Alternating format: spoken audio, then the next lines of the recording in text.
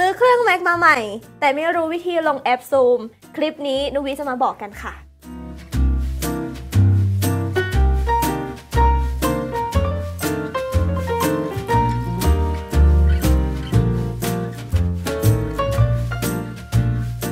ด้วยสถานการณ์ต่างๆ ในปัจจุบันนะคะทำให้หลายๆ คนต้อง work from home แล้วก็เรียนออนไลน์นะคะ แพลตฟอร์มในการประชุมที่ยอดฮิตในปัจจุบันก็คงหนีไม่พ้นแอป Zoom ค่ะ ซึ่งคลิปนี้นะคะนุวิก็จะมาสอนติดตั้งแอป Zoom นะคะสำหรับมือใหม่ที่เพิ่งซื้อ MacBook มาค่ะ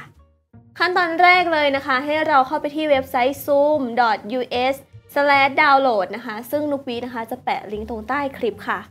พอเราเข้ามาที่หน้าเว็บไซต์แล้วนะคะ ก็จะมีปุ่มดาวน์โหลดสำหรับ Mac นะคะที่ใช้ชิป Intel ค่ะ แล้วก็จะมีปุ่มดาวน์โหลดนะคะสำหรับ Mac ที่ใช้ชิป M1 ตรงนี้ค่ะ ซึ่งตอนนี้นะคะนุวีก็ได้ใช้ MacBook Pro ชิป M1 นะคะนุวีก็จะกดดาวน์โหลดตรงนี้ค่ะ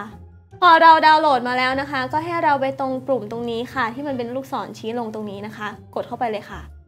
นี่ค่ะ แล้วก็เลือกที่ลูกศรขยายตรงนี้นะคะ จากนั้นนะคะให้เราดับเบิลคลิกนะคะที่ zoom.pkg ค่ะ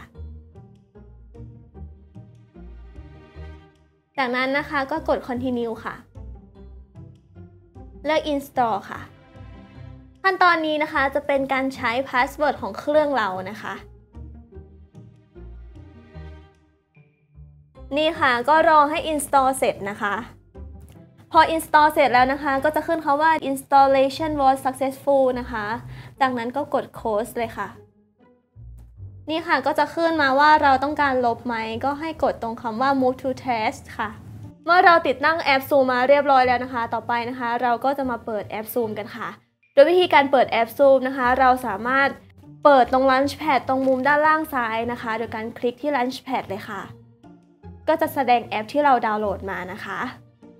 หรืออีกกรณีหนึ่งนะคะ เราจะสามารถใช้ gesture นะคะ โดยการที่เราใช้ 5 นิ้วหุบแบบนี้ค่ะ ก็จะแสดงหน้า Launchpad มาเช่นเดียวกันค่ะ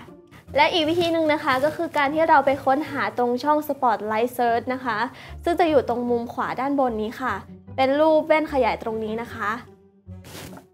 ให้เราเซิร์ชหาคำว่า Zoom เลยค่ะ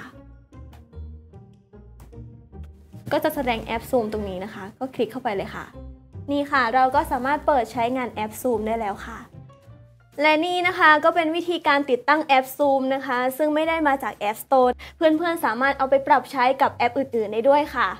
ถ้าหากใครชอบคลิปนี้นะคะ ก็ฝากกดไลค์กด Subscribe ช่อง iMode Official ด้วยค่ะ คลิปนี้นุกวีก็ขอลาไปก่อนค่ะ บ๊ายบาย